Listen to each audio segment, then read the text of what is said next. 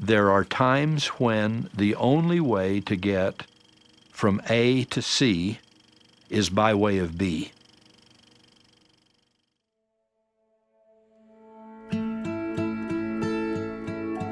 Having grown up in southern Utah and enjoying all the wonders and beauties of southern Utah and northern Arizona, I wanted to introduce my son to that, and I wanted to show him places that I had seen and enjoyed when I was his age.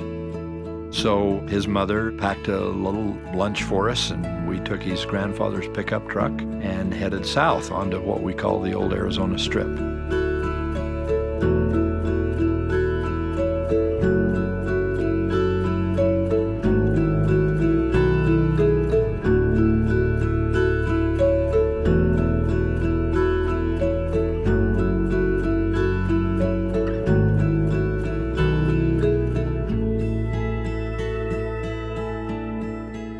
Noting that the sun was going down, we decided we'd better get back.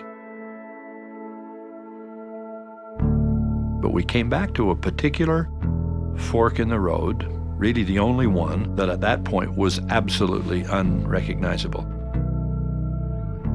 I asked my son to pray about which road to take, and he felt strongly that we should go to the right, and I did as well, and we went to the right, and it was a dead end.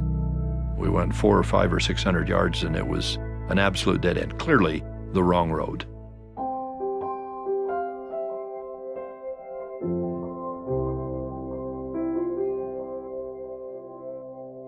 Turned around, came back out, took the other road, and clearly the road to the left was the correct road.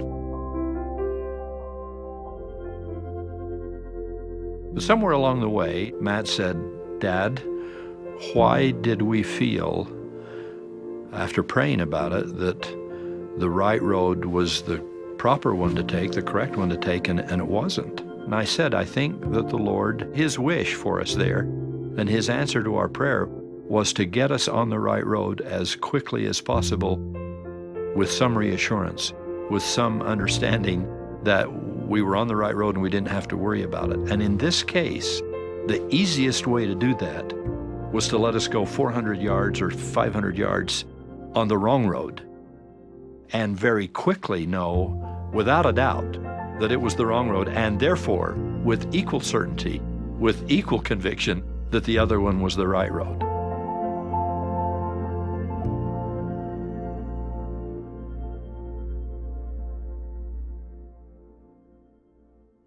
I have absolute, certain knowledge,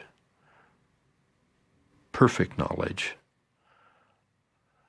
that God loves us. He is good. He is our Father.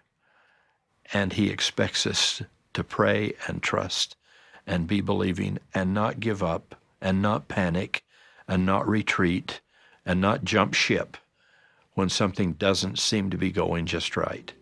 We stay in, we keep working, we keep believing, keep trusting, following that same path, and we will live to fall in his arms and feel his embrace and hear him say, I told you to be okay. I told you to be all right.